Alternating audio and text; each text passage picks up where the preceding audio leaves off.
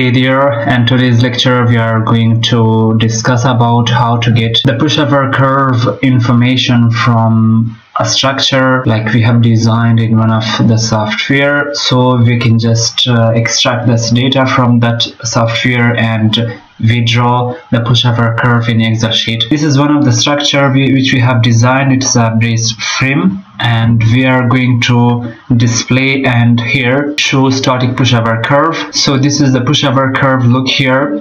A result base shear and displacement. This is the displacement and this is the base shear capacity. Pushover curve. Look here. But we are going to export this information and this curve data to excel sheet. So we are able to draw this the same pushover curve in excel sheet. So we are coming here to file you can just print it out or export to excel sheet like display table. Look here this is the pushover curve information about life safety immediate occupancy work collapse prevention and other displacement and base shear. And you can just export to excel sheet to excel sheet so it will automatically export all the same information to excel sheet there you are able to draw the pushover curve and consider other information like here immediate occupancy and life safety and here collapse preventions. You can draw that as well or simply you can just consider the displacement and base shear capacity to draw the pushover curve. So I will press it done and look here. So we have received this excel sheet. I will now plot the pushover curve here. I will go to insert and scatter select this one.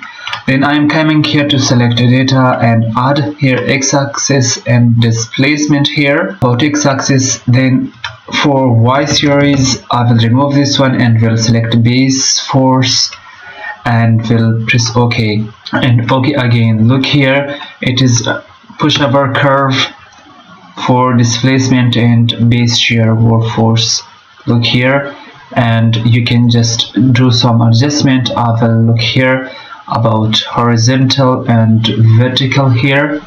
Look here it is base shear and kilonewton and here it is the displacement in meter. Displacement in meter so it is pushover curve and different pushover curves looking different. So it is base shear and the displacement and you can just add also here the chart title also. And look here it is pushover curve. We have taken all the data and information from this structure from the pushover and we have plot the same pushover curve in excel sheet considering all the information. So if you want to just do the same follow the same procedure and you will be able to plot the pushover curve in excel sheet. So thanks for watching and subscribe our channel and stay for another coming tutorial. Bye bye